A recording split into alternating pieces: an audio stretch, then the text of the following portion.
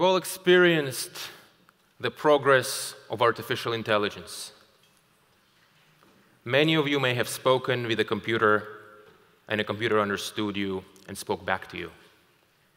With the rate of progress being that it is, it's not difficult to imagine that at some point in the future, our intelligent computers will become as smart or smarter than people. And it's also not difficult to imagine that when that happens, the impact of such artificial intelligence is going to be truly, truly vast. And you may wonder is it going to be okay when technology is so impactful? And here, my goal is to point out the existence of a force that many of you may have not noticed that gives me hope that indeed we will be happy with the result.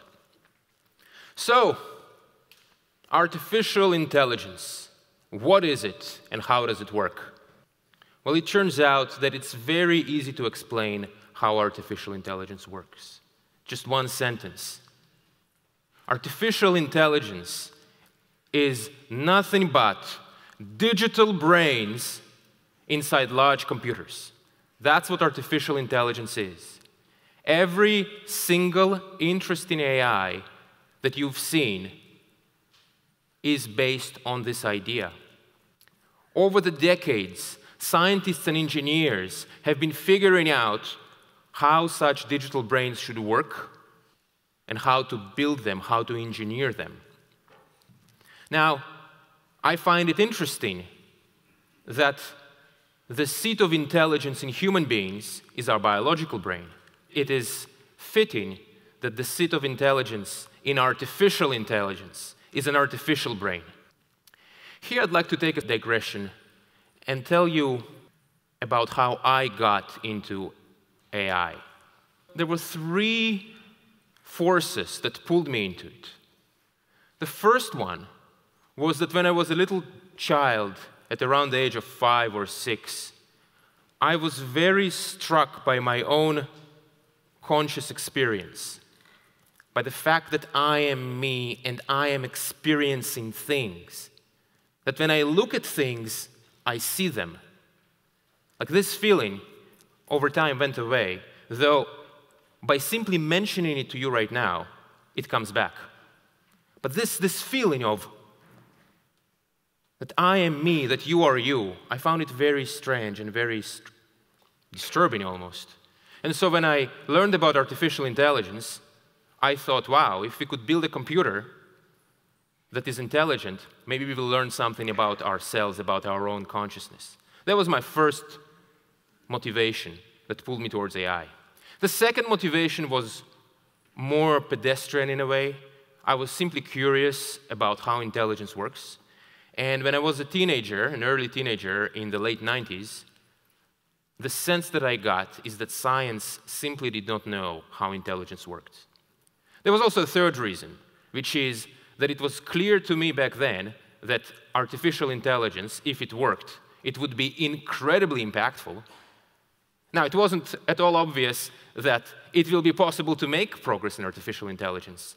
But if it were possible to make progress in artificial intelligence, that would be incredibly impactful.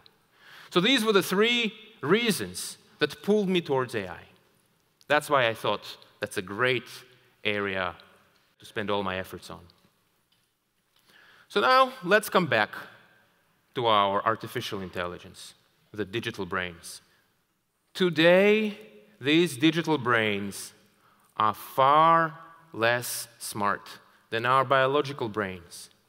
When you speak to an AI chatbot, you very quickly see that it's not all there, that it's, you know, it understands mostly, sort of, but you can clearly see that there are so many things it cannot do, and that there are some strange gaps.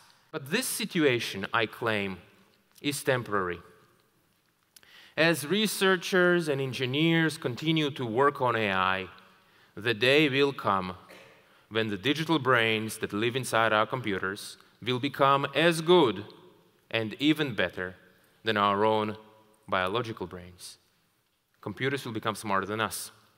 We call such an AI an AGI, artificial general intelligence, when we can say that the level at which we can teach the AI to do anything that, for example, I can do or someone else. So, although AGI does not exist today, we can still gain a little bit of an insight into the impact of AGI once it's built. It is completely obvious that such an AGI will have a dramatic impact on every area of life, of human activity, and society. And I want to go over a quick case study. This is a narrow example of a very, very broad technology. The example I want to present is healthcare. Many of you may have had the experience of trying to go to a doctor. You need to wait for many months sometimes, and then when you do get to see a doctor, you get a small, very limited amount of time with the doctor. And furthermore, the doctor, being only human, can have only limited knowledge of all, that, all the medical knowledge that exists. And then by the end of it, you get a very large bill. well, if you have an intelligent computer, an AGI, that is built to be a doctor, it will have complete and exhaustive knowledge of all medical literature.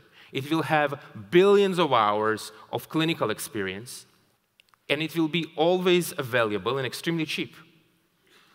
When this happens, we will look back at today's healthcare similarly to how we look at 16th century dentistry. When you know, when they tie people with belts and then have this drill, that's how today's healthcare will look like. And again, to emphasize, this is just one example.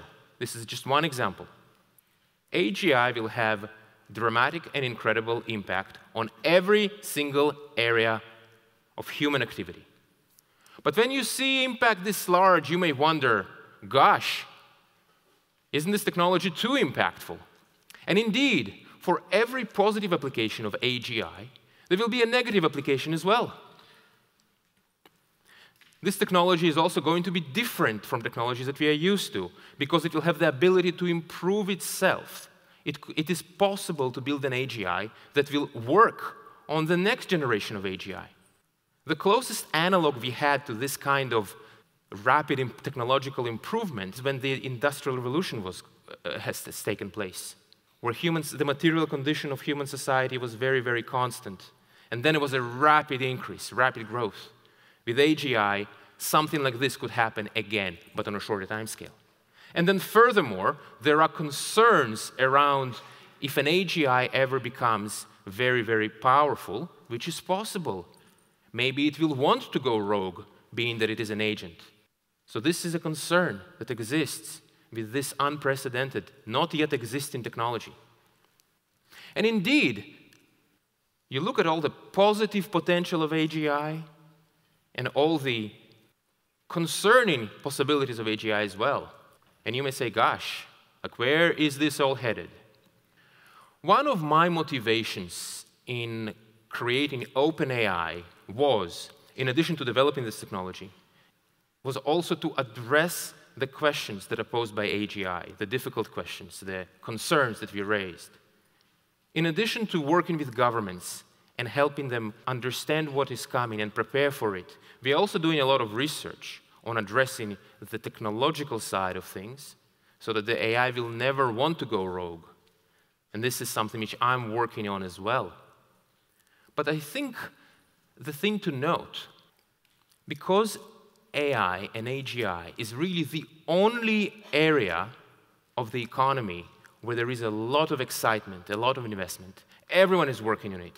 There's a huge number of labs in the world trying to build the same thing.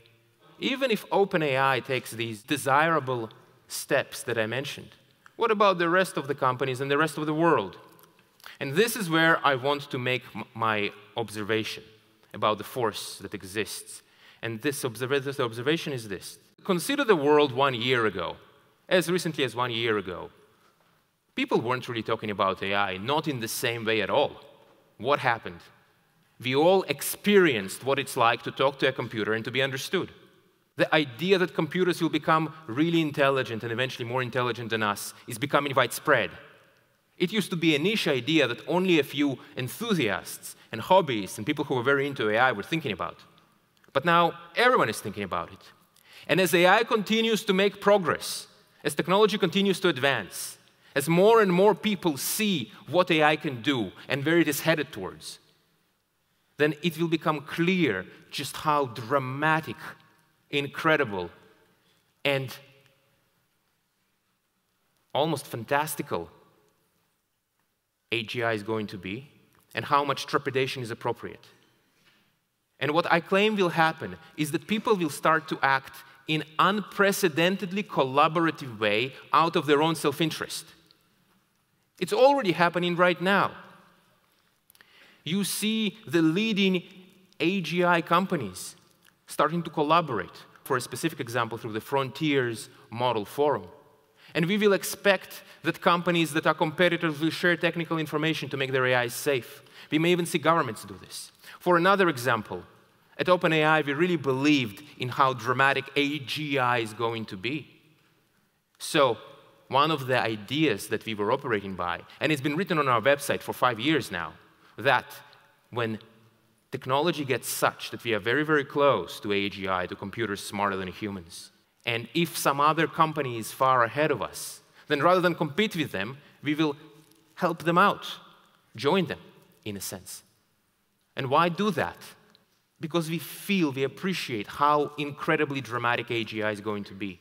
And my claim is that with each generation of capability advancements, as AI gets better and as all of you experience what AI can do, as people who run AI efforts and AGI efforts and people who work on them will experience it as well. This will change the way we see AI and AGI, and that will change collective behavior. And this is an important reason why I'm hopeful that despite the great challenges that's posed by this technology, we will overcome them. Thank you.